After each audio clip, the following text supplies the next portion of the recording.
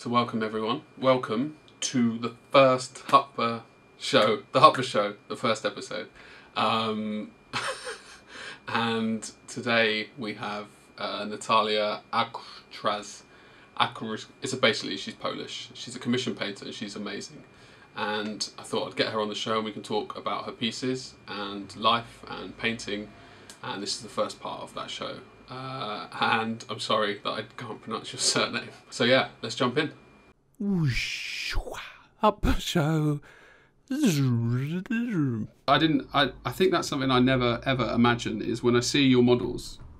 I've got them. We're gonna. I can show them later when we start talking about them. I never imagined the painting desks and how they look. Uh, Yeah, mine looks like that. it looks a lot better than I I ever would have imagined. It's taller. It's a lot taller than I thought.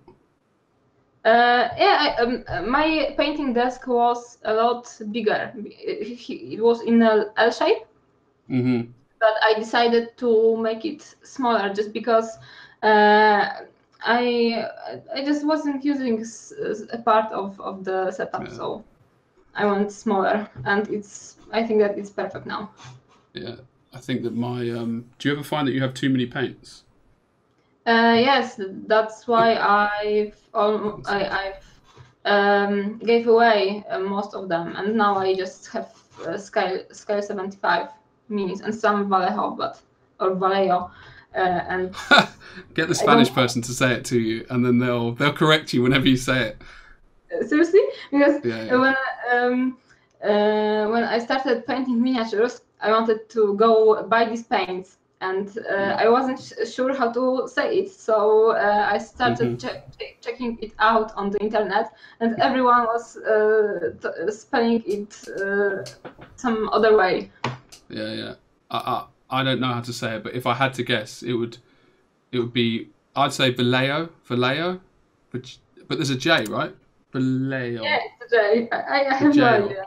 Vallejo sounds okay, but I, I, I just used to saying it Vallejo uh, when uh, I was talking with my Polish friends because uh, to be honest, we just don't care about the right pronunciation. Yeah, I'm with you on that. it was Vallejo for us. Vallejo. I mean, but it's painful for us to speak other languages, yeah, especially especially when we're not uh, good at it. So they could at least spare us the pain. but you you don't try and speak Spanish, right? No, I, I'm very bad at languages, so It's uh, except for English. Yeah. English is the comfort zone for me, and anything uh, other than Polish is just no, no, please no. Do you ever find um, speaking English annoying because you have to change your J's and your W's? Um, uh, when I learned English uh, for a very long time, I wasn't wasn't speaking it. So I had Got small you. practice in my school, and then for very very uh, for a lot of years, I I just uh, didn't practice it. Uh, so um, I actually actually I don't know maybe two months ago started spe- speaking speaking English on Discord. Just two Uh, months. You, oh, okay, but you learned it before. Yeah, yeah. Yeah. yeah. a a lot, lot, lot, lot ear- earlier, and uh, it was so painful for me just to uh, try to speak it for more than 20 minutes minutes because uh, Mhm. you use uh, the all the mouth muscles uh, in the other way than po- I'd never po- thought of that. Yeah, that is actually quite true. yeah and the j's and the they are not that bad but the r's and uh, no there are, there are some parts of english that are just painful I think so. I think, well, I can't speak Polish, uh, but I imagine that I'd have the same problem if I was speaking Polish. Uh, usually, people uh, with Polish people have problems with our uh, sh, ch, ż, ż. Shish, shish. Yeah, oh, my gosh. I, I think is my grandma was Polish, but she never ever taught us. Hold on, we're frozen. I'll pause it. Right there, I paused it. Um, what was I saying? Mm, Yeah, uh, talking about English. Polish. Um, well, I can't remember. What I was going to say is, Polish painting scene, in my opinion, because I was thinking about it, right? I was like, before I came up with the right answer in my head, I was like, there won't be many painters in Poland just because. And then I was like, that's completely wrong. There's loads and loads and loads of painters in Poland. I've wondered why. And then I was like, why is it that you guys like painting more? Or it's more like it seems uh, maybe that it's changing a little bit, but growing up, painting was not a cool thing to do, if that makes sense. hmm And I don't Uh, know if To be honest, I don't know. Uh, I mean, I was uh, always a fan of uh, of fantasy, so for me, painting miniature wasn't that bad uh, to go into. And uh, I, to be honest, I don't know why Warhammer was got so popular uh, in the nineties Hmm. in Poland. it just did. Yeah. Yeah, But all right, why are you guys better at painting than us? Or at least I know that's not. I know that's a sweeping statement, but okay. Um, it's a different style. Maybe is a better way of saying it. Uh, it's uh, because hmm, how to, how to uh, form this statement. Um, in a non-offensive way. uh, because uh, I think that uh, Polish painters uh, tend to be better technical, uh, Mm. technically in painting, uh, just because um, uh, we as the nation like to uh, kick uh, ourselves with with um, Yeah, to be better at them at it. with comments like, um, "Okay, you did it well, but you could do it better," uh, and just you know, a bit hating ourselves always. Yeah, yeah. That's why It's- we try our best to just do everything good and well. Because the the technique thing, I guess, is something that you can get better at. Like if you, the more you practice, you'll see, you'll get better. Whereas if if someone who like for me, I, I feel like I could get better technically a lot faster than I could just get better at being arty, if that makes sense. Mhm, mhm. I don't know if that statement's true, but Uh, yeah, the, it's uh, it is different because um, you can try to inter- interpret the miniature in some fantasy way. I don't know how to say it, and Yeah. you can just try to uh, paint the best non-metallic metal and Yeah. stuff like that. So I mean, it's nothing uh, bad to in not interpreting the miniatures and trying to be artsy, but Yeah. some people just don't don't focus on on that thing. Yeah, I think Okay. it's. I think before I, I've been back in the hobby for like five years now. I think, and I, I did a painting course with Alfonso like four years ago, and and then probably two years ago I realised, oh, I want to get better at painting and not just, I don't know, sort of be there. Um, but then I stopped. But anyway, the point was the the difference. I realised that before I had my kind of eyes opened up to the art world, I was really focused on like blending sort of technique, making them basically just Games Workshop style because I didn't know anything else existed. Um, but now I see people like the one who comes to mind most is the tall German Roman. Um, it, I feel like he interprets models very differently from other people. Uh, and I liked, especially when I first saw the stuff, I was like, I liked it more as art rather than a beautifully painted, perfect miniature. Mhm. And that was the first time that I saw pieces where I was like, oh shit, it actually works, even though it's not Games Workshop. Like it's uh, Yeah, a feeling. I, I think as uh, as a painter, if you want to be, um, I mean, it's not not only in uh, miniature painting. I think that uh, if you want to be good at something, then first you need to master the techniques and the basics uh, and the uh, color theory and the stuff like that, and then you can just go and uh, do whatever the fuck you want.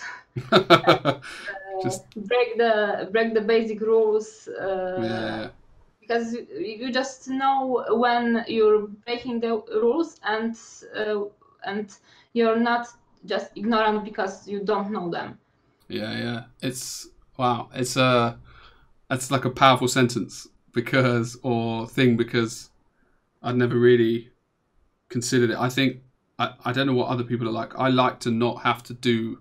In fact, most people are like. I like to not put the effort in, but still think I'm going to get the results. hmm Just like I like to just paint and and think this is going to turn out well, and then when I get to like seventy five percent of the model, I'm like it didn't turn out well, uh, and that's probably because my basics aren't very good. Uh, You yeah, know, but with every painted model, uh, uh, you can you're making progress anyway. So even Hmm. if you do something uh, badly and you're not successful, then you then you just take the experience, uh, and you know next time that you shouldn't do that. So Yeah, yeah.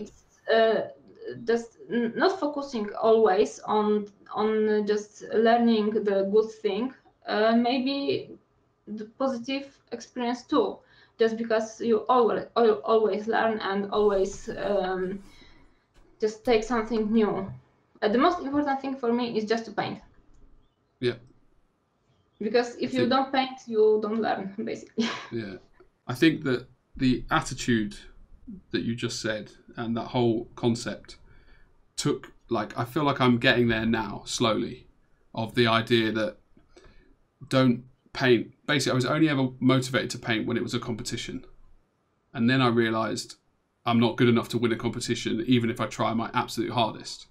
Um, so it, it meant that I could either just stop painting because I'm annoyed that I'll never win anything stop painting to win competitions and just paint because I enjoy the painting and the journey and hopefully learn when I get there. I think I don't have the other option, but I think like they were the, the kind of options. So I, I said, okay, I'll just, I won't paint a competition piece now for like, until I feel comfortable enough to enter again. Mm-hmm. I think I'm just getting to that phase now where, so like for a year, I just, or maybe a little bit longer, from going from where I was, I'd paint like two models a year and I'd focus and I'd spend like a hundred hours on something that that you know it was the best I could do, but it didn't look that good. Now I'm much more like I'll try and paint five models, but I still get stuck, and then I can't resolve it, and then I get annoyed with it, so I move on to the next one. Mhm. Um, but so- when you uh, start your paint jobs, do you uh, plan uh, the composition and the placement of lights and this is where I like talking to you because you have all these these ideas and you've already got that like that knowledge. Like I think I think I do a bit. I don't know. Like I'd like to talk through some of your pieces um, because then you can give me some uh, insight into it because I think I do, but yeah, I definitely don't enough. This this piece you can see the screen, can't you? The Mhm, yeah. yeah, yeah. This piece was the piece that I saw, the first thing I saw of yours, and I didn't know it was yours. Uh, and it was actually only after we approached you to interview that I realised it was yours. Um, and uh, yeah, I loved it. And I think what was interesting was the twofold for me was the fact that it was not something from wartime, um, but also something that the, the colours are super vibrant, but they're really controlled. Um, And for some reason at the moment the like bright colors almost fluorescent or the feeling of fluorescence is something i love like i really love it uh, and i don't fully understand how you manage to achieve it because like the things that really uh, sort of obviously the hair because i find hair interesting because i always tend to want to just paint uh, like this is more like an anime style in my head um, but maybe that's just the way to resolve hair. But I always look at hair and try and paint like each individual brush or hair strand, and it just doesn't make sense. And then these were the bits that I love the most. I think you can see like here, um, basically the kind of bluey turquoise yellow to create the highlights. Um, oddly, which is probably more impressive maybe from a technical and thinking point of view, the OSL but I was still more in love with the, you know, these kind of. Can you see my mouse? Mhm, yeah. Yeah. I okay. Cool. Yeah. Uh, yeah. I don't know why they were the bits, but yeah. You asked me, do I think about my lighting? Do I think about my color composition? Um, I try to, but definitely not. Like, how would you approach this piece, or how did you approach it? Mm-hmm. Uh, well, uh, first of all, um, I I'll talk mostly about the um, general uh, uh, rules of my um, painting miniatures. Um, when I start painting something, I uh, like to have the idea of um, uh, of just interpretation of that of, of, this mini. So sometimes I just want to paint one uh, one element. Like with this one, uh, it was the um, hearts in her eyes, uh, yeah. and I just went further with this idea. Uh, and um, I decided that I want her to have pink eyes. Mm-hmm. Um, and so I needed uh, to place them like story wise in this bust, uh, in this bust. So I gave her pink uh, cap, and I have and th- those ma- were my basic colors. I knew that I want I need skin color for her for her face. I knew mm. that I want magenta and um, yellow highlight in yeah, it, so uh, and then I just um, I was uh, thinking which colors would uh, work well with uh, with them. Um, so I uh, picked the um, dark blue. Yeah. Because I just like this color, and then I decided that yeah it would just color-wise uh, would uh, work well with the green mint and uh, yellow highlights on the sweater. And uh, I always, um, I also decided to make the cap uh, highlighted with yellow. So I just added the yellow to the uh, to her sweater, and yes. then then I just ah, it's yellow. yeah, uh, and then I just needed to pick the um, details which I wanted to put in the in the in this bust. So um, the strand of hairs and uh, small uh, details on the sweater because I, I didn't want to paint the whole uh, texture of the sweater because it, it, just would be too painful for me. yeah, so it was more like here and yeah. here. So I just so, uh, the su- suggestion, su- suggestions which work really well. Well, and I and to be honest, you not not always have to paint everything. You just yeah. need to uh, to su- suggest it. Th- yeah, yeah. Well, I think, and I've heard it before. The whole idea that your you know people's brains will um, fill in the blanks, as it were. So if you can suggest an idea, then the brain will work out and automatically say, okay, then that's the reflection, and that's I, I like to me it makes total sense, but it's not obtainable. Like it doesn't. I don't know if that comes with mm-hmm, skill. But or... look, uh, sorry, I just because I wanted to jump to the hair. yeah, yeah, yeah.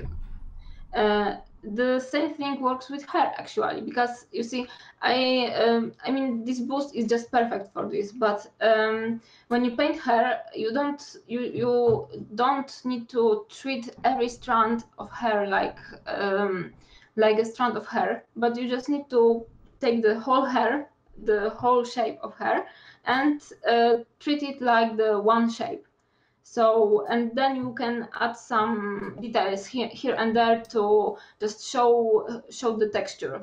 Um, how how does it work? So, um, so you know, it's and it's much less painful to paint the whole uh, shape of hair yeah. uh, and just add some details than paint each each strand of hair yeah. separately. Yeah, I mean, I guess it's the it's like the logic is always there, but it's it's the practice that you say like that needs to be there to be able to make the mistakes to know to then do it properly. like you you know it would well it might have been, but I imagine you've painted hair before. Um, um I was painting. Um, I was drawing drawing before, so I have oh, okay. uh, more art- artsy. yeah, yeah, artistic. How um, oh, it's totally had better things to say. But how long did it take this guy or girl? I oh, I, it's hard to say because I started painting her uh, in like December of 2019, and I finished her uh, in in a- April this year. Yeah. So it's off. hard to tell, but I don't know. Maybe maybe a week. It's always the Not same. bad though, is it? I do think the well, not think definitely. The better you get, the faster it gets, but also the the, the more enjoyable it, it kind of gets because when you're able to no, you don't think the less enjoyable it gets. because you just the the I don't know. It's at least it's my experience.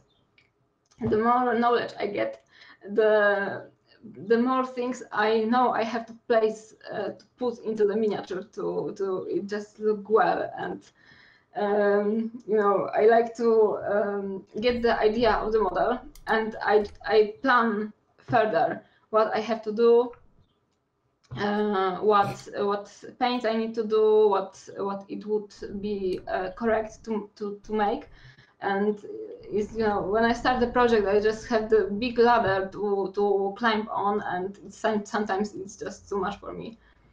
It's interesting. I know um, with like programming is the only thing that I have where I've gotten good at it, and where I start out programming isn't like writing, well, applications or websites or whatever.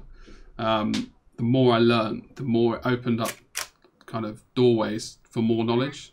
Like when I started, I was like, oh, I don't know anything, and then I was quick, quickly I was like, oh, I, I know quite a lot, and then as time progressed, I was like, I basically know nothing, and and now I'm like 12 years into programming, I'm like, I know a lot of stuff. I know there's a load of stuff I don't know. But every time I learn something, it, it means that I have to, well, it just opens up a new doorway of, of knowledge. Like, and I Mhm. guess I'm, ex- I'm, I'm finding that out with painting. But I think you can always tell, I think anyway, when somebody is painting a model and like maybe they don't understand much of the theories or practices, but the model still works.